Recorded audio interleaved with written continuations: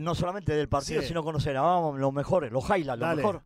Esto fue en el primer tiempo. Ahí estaba Beltrán frente a Domínguez. No, pudi- no se pudo, no pudo Vélez con, con, con Beltrán, Porcel, que fue protagonista en el primer tiempo. Otra vez Beltrán. Una de las que tuvo González. El derechazo se le va cerquita, ancho. Va a tener otra más. Otra vez el misionero. Donde River salteaba línea, jugaba largo, ataque directo. Otra vez. Flores. Por encima de Sauer la pelota. Apenitas por arriba del travesaño. River en el segundo, en ese primer tiempo tuvo tres claras.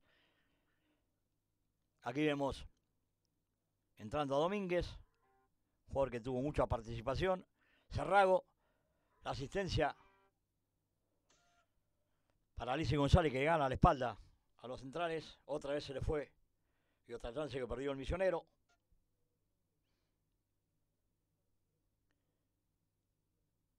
Aquí estamos en el segundo tiempo.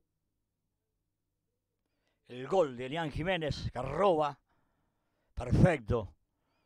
Ataca el espacio. Ya sabe lo que va a hacer. El enganche hacia adentro. El derechazo con un desvío. Gran acción individual del 5 de River. Que le daba el gol y lo que sería a la posta el triunfo del equipo hoy de Gerlo, pero de Marcelo Escudero, que está puntero con seis unidades en estos dos partidos. Bueno, aquí era cuando llegaba Vélez, con todo ese repertorio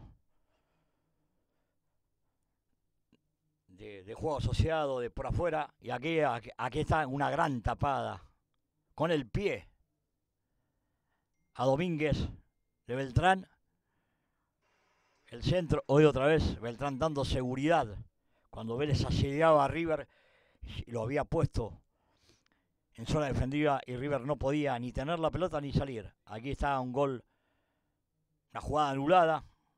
Llegaba por sorpresa Oviedo el cabezazo, pero no valía. El gol de Silvero. Otra vez Vélez, que fue así la continuidad y lo que pasó en el segundo tiempo. Todas aproximaciones, faltó el toque final.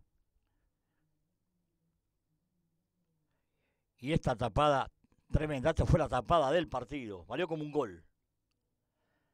Isaías Andrada le gana por adentro el lateral para ver las variantes de Vélez. Llegó como centro delantero y Beltrán que le ahogaba el grito de gol.